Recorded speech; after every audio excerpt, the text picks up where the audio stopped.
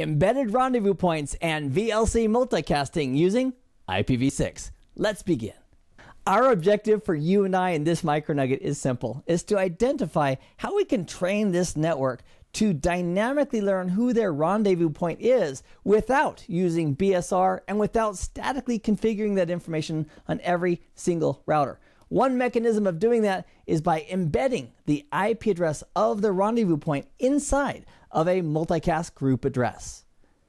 To embed the rendezvous point IP address inside of a group address, we first of all need to plan on what the rendezvous point address is going to be. So let's choose R2 that we want him and his loopback address of this guy right here to go ahead and be the rendezvous point IP address. Now we are going to statically configure R2, the rendezvous point. We need to tell him that he's in charge of being the rendezvous point, but we're not going to specifically tell R1, R3, or R4. We'll let them figure out who the rendezvous point is based on the multicast group address that we create.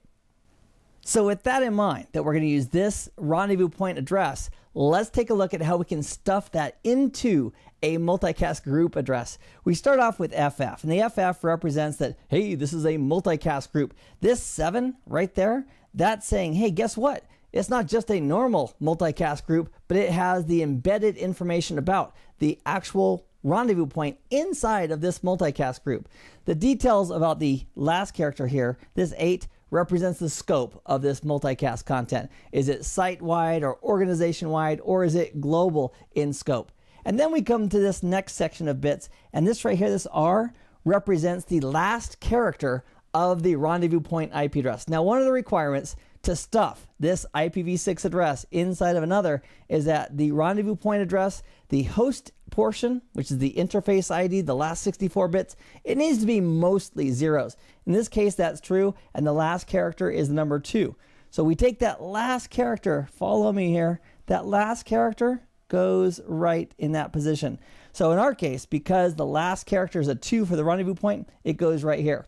Now you might be thinking, well, Keith, we're going to need a lot more information about the rendezvous point than just the last character of its IPv6 address. We also need to know what network it's on.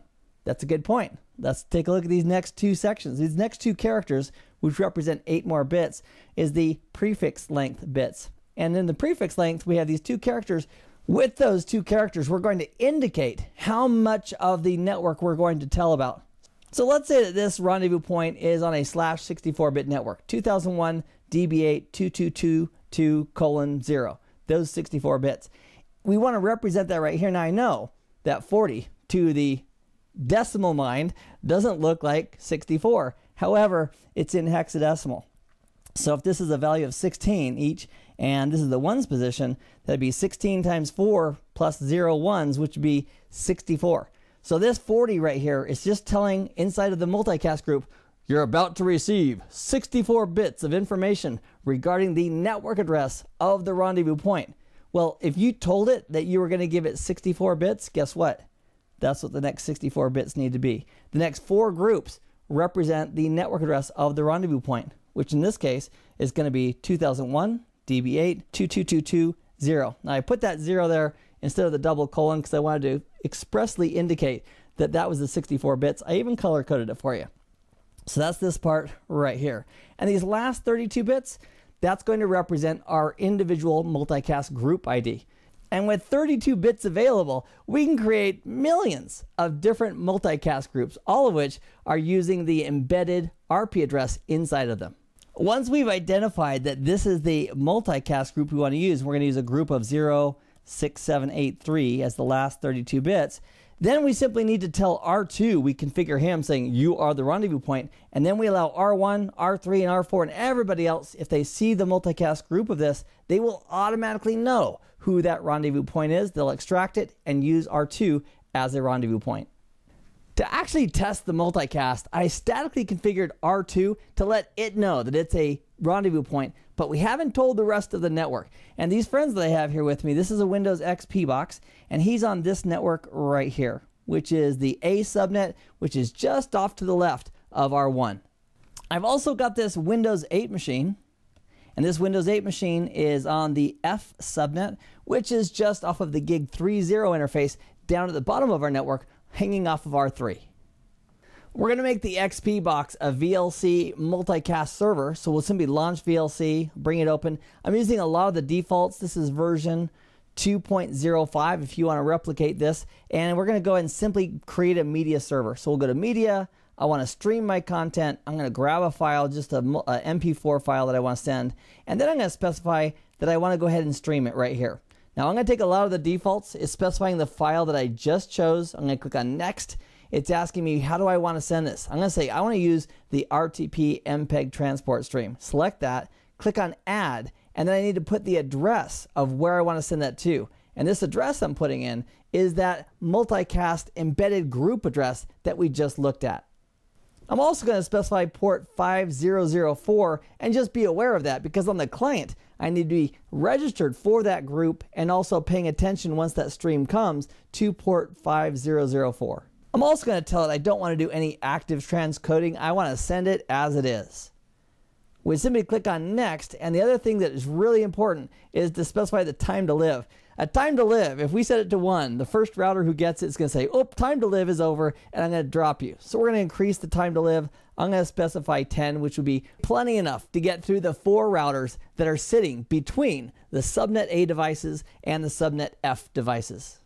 And then we'll simply click on stream and it's off to the races. We're now pumping out this content inside of the network. In fact, if we take a look at this icon right here, it's showing that my network is sending, sending, sending, and that's a very, very good sign. The second half of this is to go to the Windows 8 machine, which is down on network F, subnet F, and tell it to join this multicast group. We'll use the VLC player there as well. It'll use a multicast listener discovery report to tell R3, it wants that group. That message will be propagated through the multicast network, and then the content should flow down to the Windows 8 machine. So over on the Windows 8 machine, let's go ahead and bring up VLC. And we're going to simply go to Media, and I'm going to say, I want to open a network stream.